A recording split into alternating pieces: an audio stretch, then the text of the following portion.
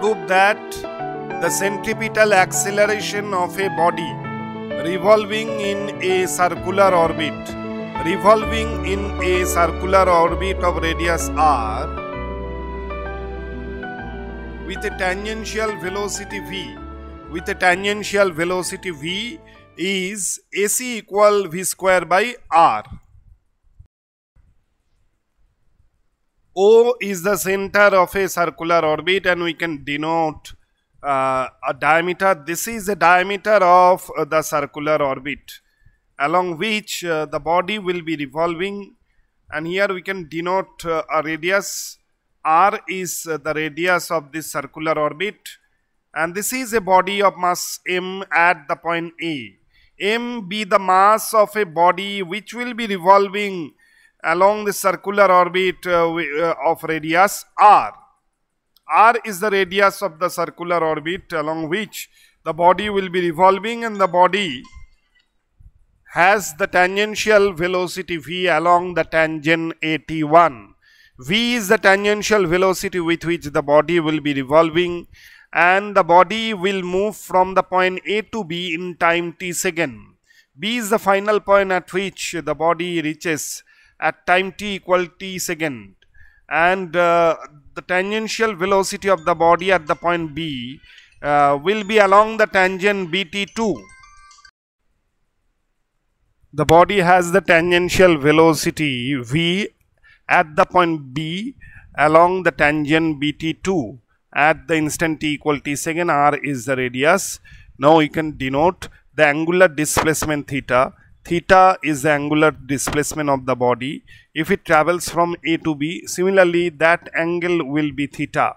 This angle will be theta which is uh, the alternate angle. And and also the angle subtended by the tangent bt2 with the vertical direction is also theta. Now the tangential velocity v at the point b is resolved into two rectangular components the component along the direction by is v cos theta and the component uh, along uh, uh, along a direction parallel to the radius AO will be v sin theta. v sin theta is the rectangular component of tangential velocity v along the direction bx prime along the direction bx prime uh, parallel to the radius AO parallel to the radius AO. Now the component of tangential velocity v at the point A at instant t equals 0 second is ux uh, which will be equal to v cos 90 degree along the radius AO along uh, radially inward direction that is along AO the component of tangential velocity v of the body at the initial point A along the radius AO will be ux which will be equal to v cos 90 degree. Let v be the tangential velocity. v be the tangential velocity or the linear velocity of the body. Linear velocity of a body, linear velocity of a body of mass m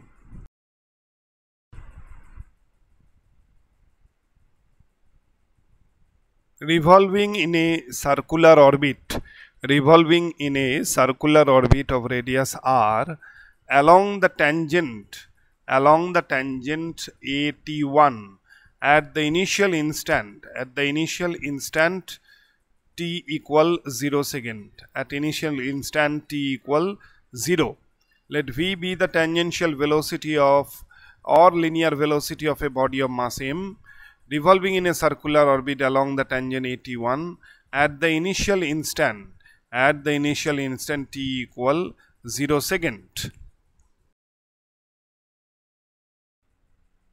The rectangular component the rectangular component of uh, the linear velocity v of the body at the point A that is at the initial instant that is at the initial instant t equal 0 second along the radius AO, along the radius AO of the circular orbit, along the radius AO of the circular orbit is given by ux equal v cos 90 degree. the rectangular component of velocity v at the point A along the radius AO will be v cos 90 degree. Therefore, ux is equal to 0. Ux is equal to 0 which is the rectangular component of linear velocity at the point A along the radius AO. ux is equal to 0 which is in the radially inward direction that is along AO. Now the body. Now the body is in the, now the body in the circular motion travels from now the body in circular motion travels from the point A to the point B. A to the point B in time t second. Travels from the point A to B in time t second uh, along the circular orbit along the circular orbit with the uniform tangential velocity or with the uniform tangential speed v with the uniform tangential speed v again v is the tangential velocity or linear velocity of the body. V is the linear velocity of the body at the final point b at the instant t equal t second. Along the tangent bt2 along the tangent bt2 to bt2 full stop. The rectangular component the rectangular components of this tangential velocity or linear velocity v of the body at the final point B at the final point B on the circular orbit at the final point B on the circular orbit R Vx is equal V cos theta Vx is equal to V cos theta which acts along the direction By which acts along the direction by that will be perpendicular to tangential uh, motion. And uh, Vx equal V sin theta Vx equal V sin theta along the direction Bx prime along the direction Bx prime parallel to the radius AO along the direction Bx prime parallel to the radius AO parallel to the initial radius AO at the point A.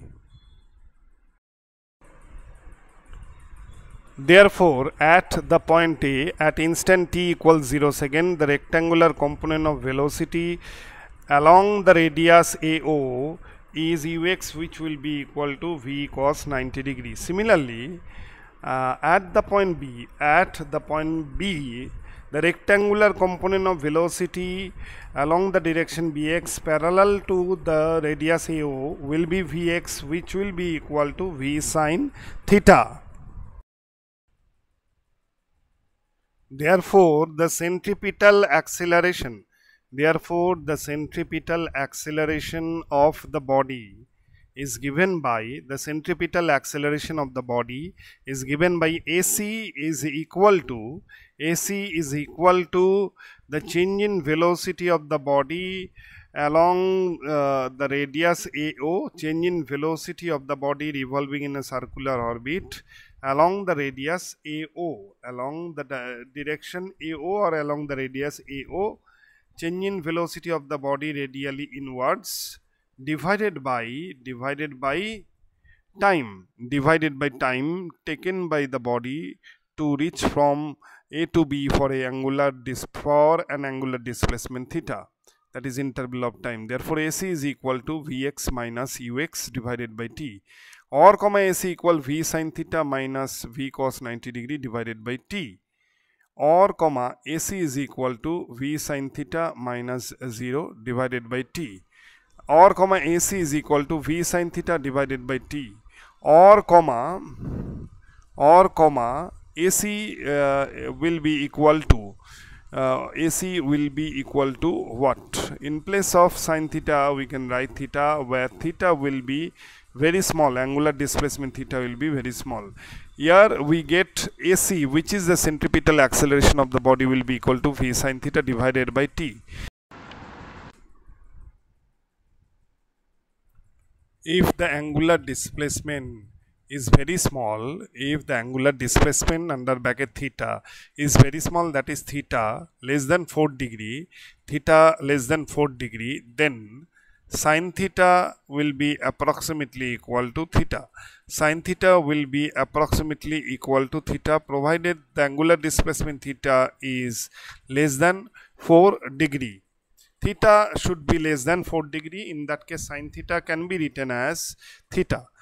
Uh, now we know that AC is equal to V sine theta divided by T. Now in place of theta uh, sine theta you can write theta that is AC equal to V theta divided by T equal V under bracket theta by T. AC is equal V under bracket theta by T where theta is the angular displacement of the body from A to B and we get V omega where the angular velocity where the angular velocity omega is equal to uh, is uh, given by omega that will be equal to theta by T. Equal v under bracket v by r. Since the tangential velocity of the body v is the product between angular velocity omega and radius of the circular orbit.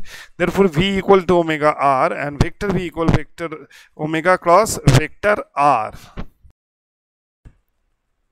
Therefore ac will be equal to v square by r AC will be equal to v square by r and that is the centripetal acceleration that is the centripetal acceleration of a body revolving in a circular orbit. AC is equal to v square by r which is the centripetal acceleration of the body revolving in the circular orbit revolving in the circular orbit of radius r circular orbit of radius r. So finally we get the expression of centripetal acceleration which is AC that will be equal to v square by r. AC is equal to V square by R. This is the uh, this is in radially inward direction. This is in uh, the radially inward direction with respect to uh, the circular orbit. R is the radius of circular orbit. A body of mass m is revolving with tangential velocity v and AC, the centripetal acceleration AC will be equal to v square by r. That is AC equal to v square by r, which is the centripetal acceleration of a body revolving uh, revolving uh, in the circular orbit of radius r.